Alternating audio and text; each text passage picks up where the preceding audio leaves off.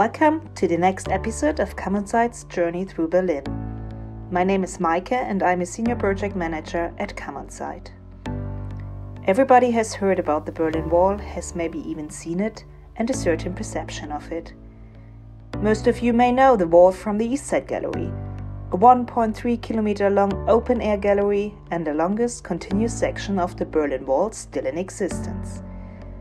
118 artists from 21 countries transformed it into an open air gallery and commented with their paintings on the political changes in the years 1989 and 90.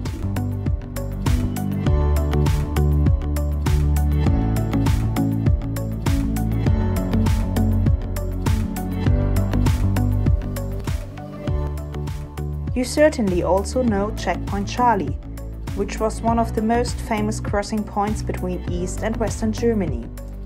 Checkpoint Charlie is not only one of the most important sites of the Cold War, but has also been scene of numerous attempts to escape from East Berlin. And then there's Brandenburg Gate, which during the Cold War stood in an exclusion zone in an arc of the wall, inaccessible for locals and visitors. Today, Brandenburg Gate symbolizes a reunited Berlin and is one of the most iconic landmarks and often the first site that people visit when they come to Berlin.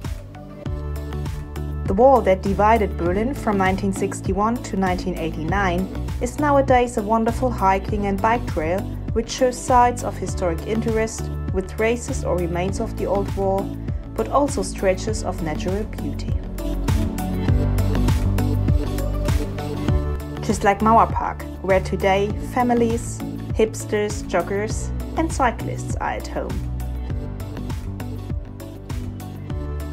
A very impressive open air exhibition is the one at Bernauer Straße, which is located directly on the border strip and gives a moving insight into the division of Berlin.